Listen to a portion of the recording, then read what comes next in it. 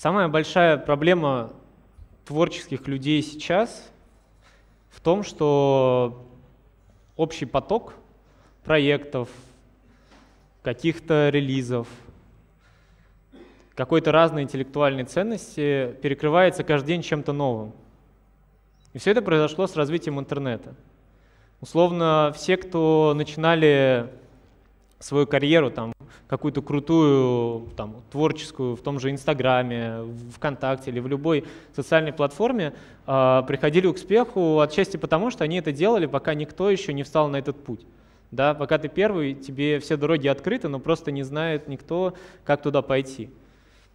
И, соответственно, сейчас произошла очередная такая переломная точка от того, что дизайна очень много.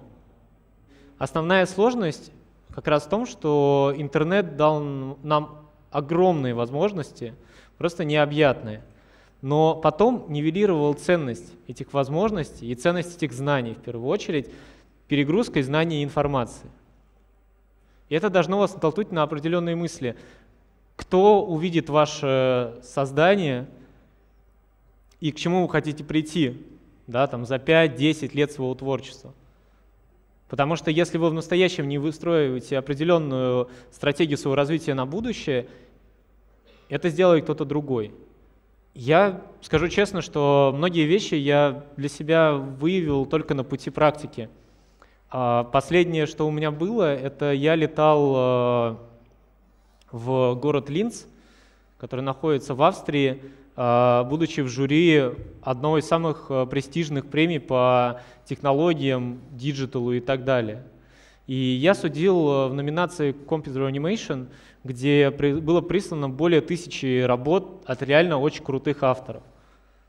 До финала дошла одна, плюс два дополнительных места, плюс 12 э, упоминаний жюри с книгами.